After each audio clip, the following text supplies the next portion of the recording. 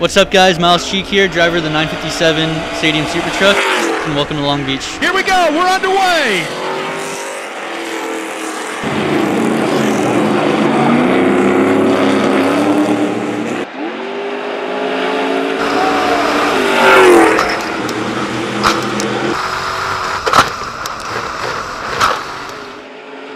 Uh, really glad with the results on today, Sunday. Great drive. Put your hands together for Myles Cheek.